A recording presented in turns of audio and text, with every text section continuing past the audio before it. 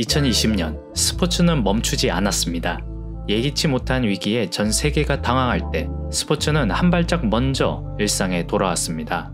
시행착오를 겪으며 점차 제자리를 찾아갔고 언제나 그랬던 것처럼 선수들은 온갖 기록을 쏟아냈습니다.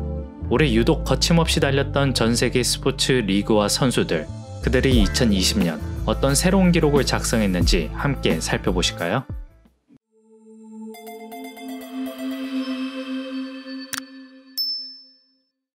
인간새 아르망 디플랑티스는 6m 15를 날아 26년 만에 장대 높이뛰기 신기록을 경신합니다. 세계 육상연맹은 2월에 실내 경기장 기록도 깨뜨린 아르망을 2020년 올해의 육상 선수로 선정합니다. 한편 타임지는 올해의 운동선수로 르브론 제임스를 뽑았습니다. 킹 제임스는 2020 NBA 챔피언 트로피와 파이널 MVP를 거머쥐며 역대 최초로 세 개 팀에서 파이널 MVP를 차지한 선수로 즉위합니다. 또 개인 통산 16번째 올 NBA 팀에 이름을 올리며 코비 브라이언트, 팀 덩컨, 카림 압둘 자바를 넘어 올 NBA 팀 최다 선정 기록을 달성합니다. 르브론의 명성은 코트 밖에서도 계속됐습니다. 7월에 그의 루키 카드가 약 22억 원에 거래되면서 스포츠 카드 역대 최고가를 갈아치웁니다. 하지만 불과 한 달 뒤 마이크 트라웃 루키 카드가 47억 원에 낙찰되면서 역대 최고가 타이틀을 낚아채갑니다. 트라웃 루키 카드처럼 올해 메이저리그에는 큼직한 기록들로 가득했는데요. 애틀란타는 한 경기 29점을 올리며 91년 만에 내셔널리그 최다 득점 신기록을 세웠고 포스트 시즌에서는 지안카를로 스탠튼이 5경기 연속 홈런이라는 역대 최초의 기록을 작성했습니다. 커쇼는 207번째 삼진을 잡으며 포스트 시즌 최다 탈삼진 기록을 경신했습니다. 아, 포스트 시즌 18연패라는 새로운 굴욕의 역사를 장식한 미네소타도 있었습니다.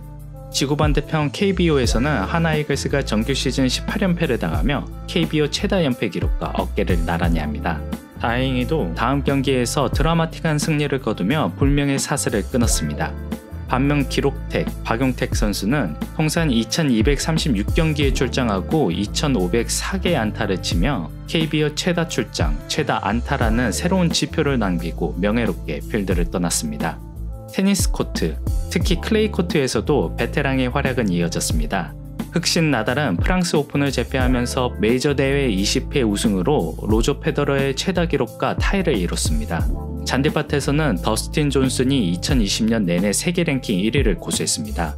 그는 11월 마스터스에서 무려 20언더파를 기록하며 마스터스 역대 최소타 우승을 거두었습니다. 같은 경기에서 임성재 선수는 공동 2위를 차지하며 아시아 선수 최초 마스터스 준우승이라는 쾌거를 이뤘습니다. 손흥민도 7월 아스날 경기에서 한 골 한 도움을 기록하며 EPL 단일 시즌에 10십 클럽을 기록한 최초의 아시아 선수로 등극합니다.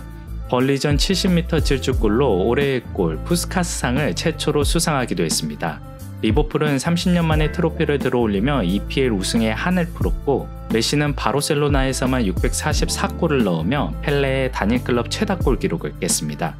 UFC는 5월 11일 UFC 249를 개최하며 미국에서 가장 먼저 경기를 재개한 스포츠 단체가 됩니다. 11월 22일 방어전을 치른 플라이급 챔피언 데이비슨 피게레도는 불과 21일 만에 옥타곤에 돌아오며 역대 최단 기간 챔피언 방어전을 치렀습니다. 함자트 치마예프는 7월 데뷔전 승리 후 10일 만에 돌아와 상대를 때려눕히며 역대 최단 기간 2연승을 달성합니다. 2020년 NFL 키워드는 단연코 쿼터백일 것입니다. 패트릭 마홈스는 10년간 6천억 원, 전 세계 스포츠 최대 규모의 계약을 맺습니다. 43살의 톰 브래디는 327번째 경기에 나서며 쿼터백 역사상 최다 경기 출전 기록을 갈아치우고 베이커 메이필드는 70야드 패스를 던지며 역대 가장 긴 패스를 기록합니다. 캠 뉴튼은 1분 동안 한 손으로 무려 51개의 패스를 잡아내는 뜬금없는 재능을 선보이며 기네스 기록을 새로 썼습니다. 그리고 영상을 만드는 동안 들어온 소식이 있는데요. 구영회 선수가 생애 첫 NFL 올스타로 뽑히며 국내 팬들을 설레게 한 것입니다. 자, 이제 속도 좀 내볼까요? 루이스 해밀턴은 개인 통산 92승을 달성하고 전설 미하엘 슈마허를 넘어 그랑프리 역대 최다 우승자로 우뚝 섭니다. 담원은 2020 롤드컵에서 우승하며 3년 만에 소환사컵을 한국에 가져오는데요. 결승전에서 시청자 4,595만 명을 소환하며 롤드컵 역대 최고 시청자 수를 기록합니다. 왕좌의 게임 거산은 501km 데드리프트에 성공하며 스트롱맨 역사의 한 페이지를 작성했습니다. 70kg 남짓한 62살의 노인은 8시간 15분 15초 동안 플랭크를 하며 기네스북에 자신의 이름을 올립니다. 드레셀은 100m 접영에서 48초 벽을 돌파하며 세계 신기록을 세웠고 불과 40분 만에 50m 자유형에서 자신의 신기록을 경신하는 괴력을 발휘했습니다. 김연경의 가세로 어우흥이라는 유행어를 낳은 흥국생명은 14연승을 이어가며 최다 연승 타이 기록을 달성합니다. 하지만 또 다른 타이 기록 보유팀 GS 칼텍스가 신기록을 저지하며 V리그의 새로운 천적 관계 탄생을 알렸습니다. 나이키는 공식 온오프라인 몰의 매출 비중을 높이며 수익성을 개선했고 수시로 신고가를 기록했습니다. 그리고 마이클 조던이 신었던 에어 조던 1은 소더비즈에서 6억 9천만 원에 낙찰되면서 신발 경매 최고가를 경신했습니다. 세계 육상연맹은 마라토나 밑창 최대 두께를 40mm로 정하며 기술 도핑 논란을 잠재웠고 새로운 측량법으로 에베레스트는 86cm 높아져 해발 8,848m로 신장을 업데이트합니다. BLM 운동으로 유색인종 차별에 대한 경각심이 높아진 가운데 전 세계 스포츠는 저마다의 행동으로 변화를 촉구했습니다. 메이저리그 사무국은 차별의 벽을 허물기 위해 니그로 리그를 메이저리그 역사에 포함시켰습니다. 이로 인해 메이저리그 마지막 4할 타자 기록은 1941년 테드 윌리엄스에서 1943년 조시 깁슨으로 변경됐습니다. NHL 2020 드래프트에서는 퀸튼 바이필드가 1라운드 두 번째로 뽑히며 역사상 가장 높은 순위에 드래프트된 흑인 하키 선수로 등극했습니다. 메이저리그 마이애미 말린스는 북미 스포츠 최초로 여성 GM 킴 응을 선임했고 NCAA 최상위 무대에서는 사라 풀러가 여성 최초로 경기에 출전하며 성별의 장벽을 허물기도 했습니다. 막상 정리하고 보니 팬데믹이 있었는지 의문이 들 정도로 수많은 기록이 스포츠 역사를 써내려갔습니다.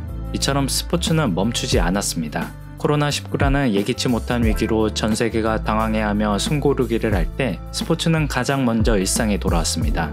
어느덧 일상으로 돌아가는 지표로 자리 잡은 스포츠. 리그와 선수는 오늘 또 경기를 이끌어가며 우리에게 일상이 머지않다는 희망을 선사합니다. 올 한 해 비욘드 스포츠를 시청해 주셔서 진심으로 감사합니다. 비욘드 스포츠였습니다.